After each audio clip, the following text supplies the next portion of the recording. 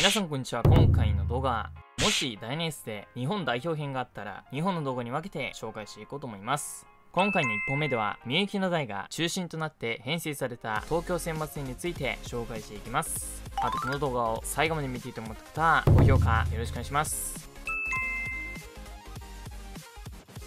それでは本編最後までご覧ください。ダイヤのA東京選抜の話が始まったのは単行本47巻。日米親善と東京都の野球向上のため稲実国友監督のもとに東京代表の監督の依頼が来ていました。はじめ47巻では各チーム代表選手1名推薦も合わせて計36名でチームを編成。しかしダイヤのAact2 11巻では3年生を中心に各校から1名ずつで18名からチームを作ることに変更。東京選抜の活動は夏祭前に行われ。初日は東京選抜は国沼監督が指揮を執っていたこともあり稲津のグラウンドで合同練習。2日目は大学生チーム名人大学と練習試合。3日目はアメリカ選抜との親善試合。以上3日間のスケジュールとなっています。ちなみに東京選抜のメンバーは漫画などで見た限りこのようになっていました。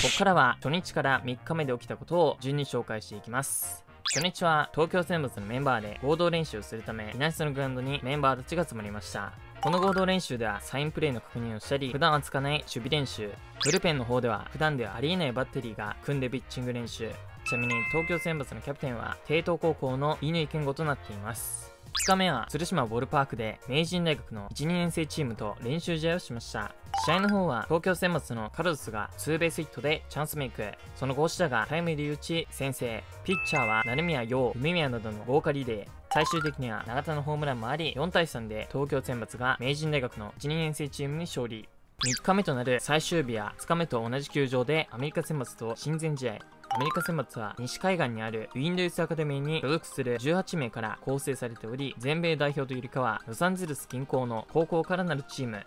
試合開始前に国友監督は1試合目は用意舞成宮のリレーでキャッチャーは乾2試合目は梅宮大黒中条のリレーでキャッチャーはみゆき東京選抜戦後夏祭もあるので同じく同士はバッテリーを組ませませんでした。1試合目の両チームのスタメンはこのようになっていました。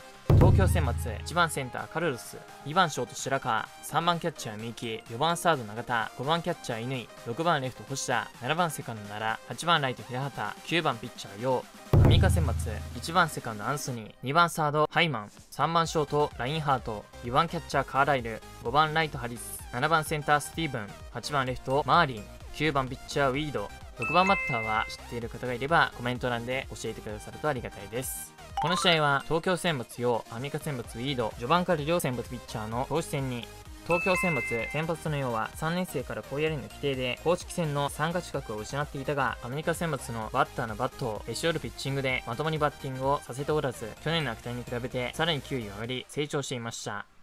試合が動いたのは3回の裏東京選抜の攻撃。東京選抜はこの回1アウトから9番4のヒット1番カラスのフォアボール1アウトランナー1、2塁で2番白川を迎える。白川このケース送りバントを決め2アウトランナー2、3塁で打席には3番みゆきを迎える。このケースみゆきはチームの期待に応える先制のタイムリーヒット東京選抜が2点を先制。その後も4番永田5番乾の連続ヒットで1点追加。結果この回東京選抜に計3点が入りました。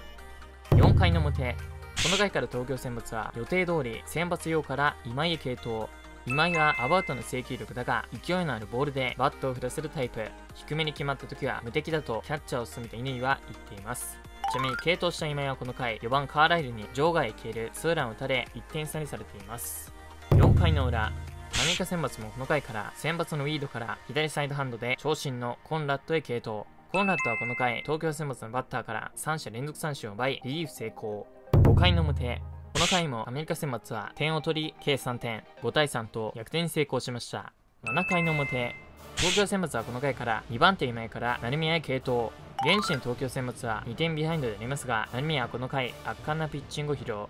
先頭2番ハイマンには初球からインコース攻めをし追い込み最後はチェンジアップで空振り三振ワンアウト。続く3番ラインハートにはスライダーやチェンジアップを使って連続三振2アウト。最後の4番カーライルはアメリカ選抜の中ではスイングスピードは桁違いかつ正確なバットコントロールを持つバッター。成宮はうまく変化球を使って追い込み最後はインコースのボールで空振り三振スリーアウト成宮はこの回3者連続三振でアメリカ選抜のバッターをねじ伏せていました。8回の表この回から7回の表でキャッチャー乾のアクシデントもあり東京選抜戦では同じ地区同士でバッテリーを混ぜるつもりはなかったがこの試合ファーストを守っていたみゆきがマスクをかぶることに。西東京のライバル同士、成宮とみゆきがバッテリーを組んでいました。ちなみにファーストには、稲井津、山岡が入っています。この回、成宮みゆきバッテリーは強気なピッチングで攻めていき、アメリカ選抜のバッターから3振を奪い、三者凡退。成宮のボールを来たみゆきはアップデートされたチェンジアップに驚き、みゆきには珍しい補給ミスをしていました。8回の裏、東京選抜はここまで3対5とアメリカ選抜に2点リードされているが、成宮の7回からの高騰に応えようと意地を見せる。